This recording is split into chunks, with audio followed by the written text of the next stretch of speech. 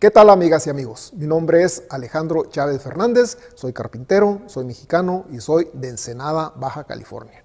Siguiendo con la serie de videos sobre el uso correcto del router, hoy quiero mostrarles cómo fabricar una guía universal para el router de mesa. Y le vamos a llamar guía universal porque nos va a permitir trabajar con todas las medidas de las navajas del router, ya sea la más grande y la más chica. Así que, empecemos. Primero les voy a mostrar cómo funciona nuestra guía y después les mostraré cómo hacerla completamente. Siempre es muy importante reducir la distancia entre nuestra guía y la navaja.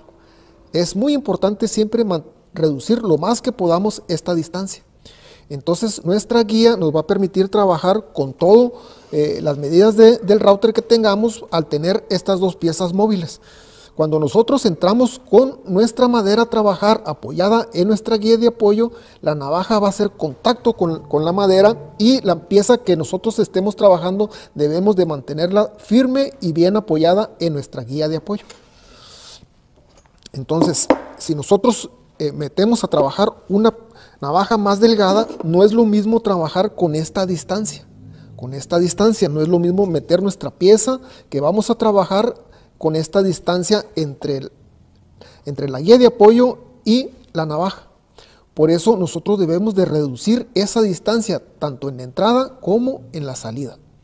De esta manera nuestro trabajo queda mejor, pero también es más seguro. Es más seguro en la entrada y también en la salida. Y esta guía nos va a permitir ajustar esas distancias cada vez que nosotros pongamos una navaja diferente. Siempre vamos a poder reducir la distancia entre la navaja y la guía. Con todas las navajas que nosotros necesitemos trabajar, vamos a reducir siempre nuestra distancia entre la navaja y la guía, tanto en entrada como en la salida. Incluso con las más chicas. Con las más chicas también lo podemos hacer y lo debemos de hacer. Bueno, esto va a funcionar así. Eh, estas dos piezas móviles las vamos a sujetar con estas tuercas T y con estos tornillos. Y para eso necesitamos hacer estas ranuras. Necesitamos hacer estas ranuras para eh, colocar nuestra, nuestra tuerca T en esta pieza y, y, este tornillo en la ranura. Y de esta manera poderlo ajustar cada vez que nosotros lo ocupemos. Entonces, vamos a hacerlo. Para este trabajo es recomendable utilizar madera dura. Yo estoy utilizando este, madera de ash o fresno, pero también pueden utilizar este, madera de encino o de maple o de alguna madera dura que ustedes tengan. Y estas son las medidas de las piezas que ocupamos en centímetros. Estas son las medidas de las piezas que ocupamos, pero en pulgadas. Y estas son las piezas que vamos a utilizar para sujetarlas. Estas son las tuercas T o T-nuts.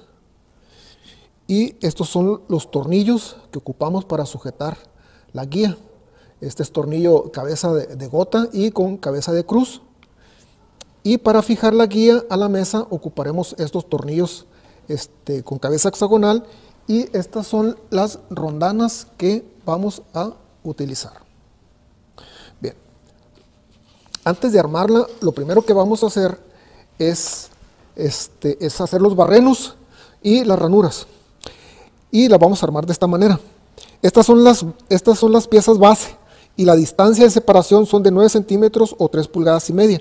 Y aquí va a llevar unas ranuras para nosotros sujetarlas, eh, la guía a la mesa y la vamos a armar de esta manera. La vamos a armar con pegamento, clavo y tornillo. Y vamos a armarla de esta manera.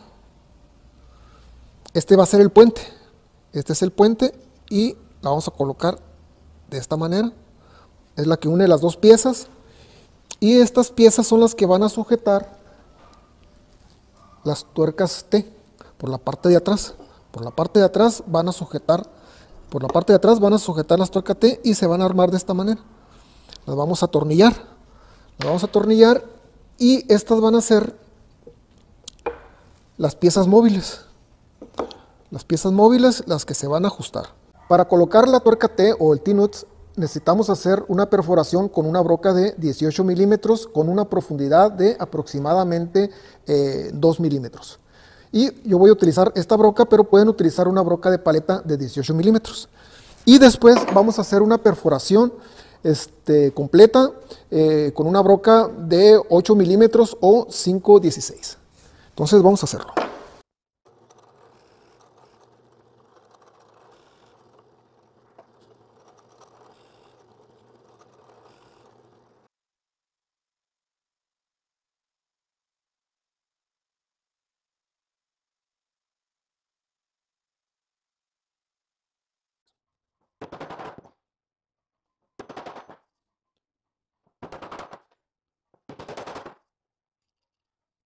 Lo siguiente será hacer las ranuras de la base de la guía para sujetar la guía en la mesa del router de trabajo.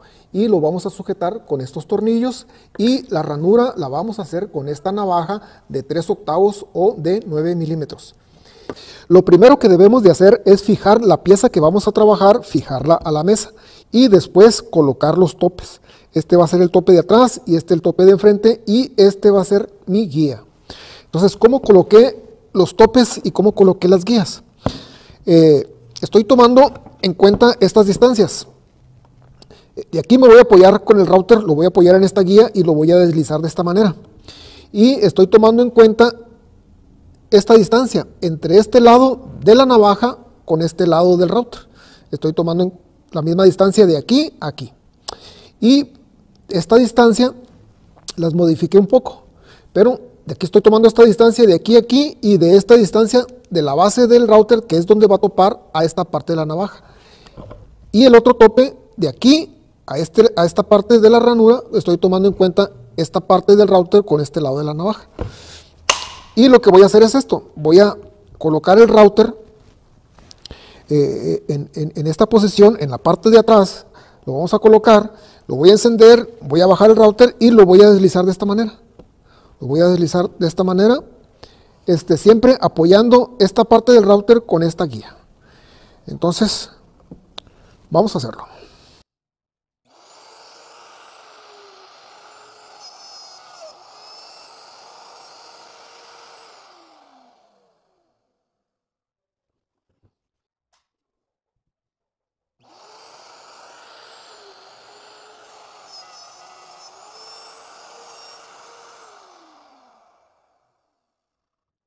Lo siguiente será hacer una doble ranura a las piezas de enfrente de la guía, que van a ser las piezas A y las piezas B.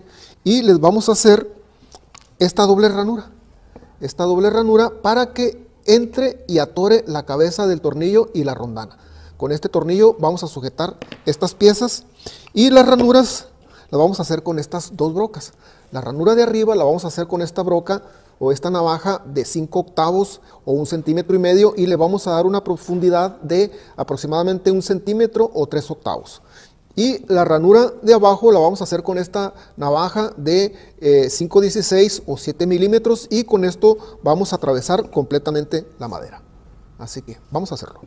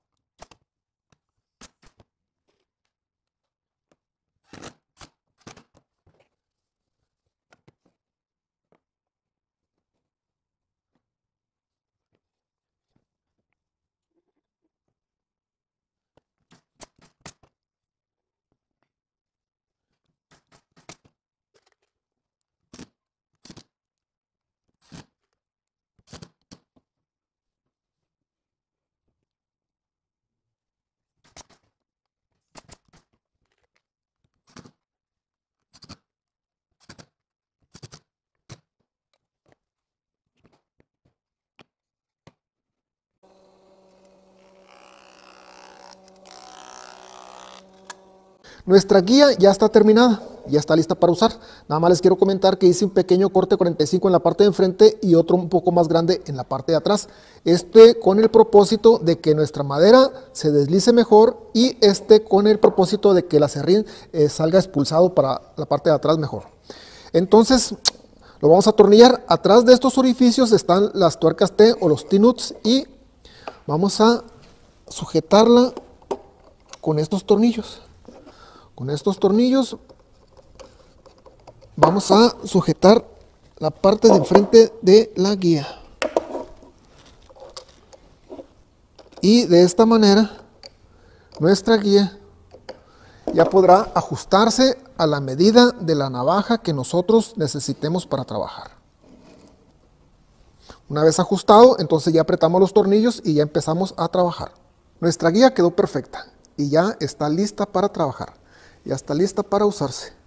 Solo les quiero mostrar cómo la sujeté por la parte de atrás, cómo la sujeté a la mesa de trabajo con esos tornillos y al tener esas ranuras podemos mover nuestra guía para enfrente o para atrás según el trabajo que nosotros estemos realizando.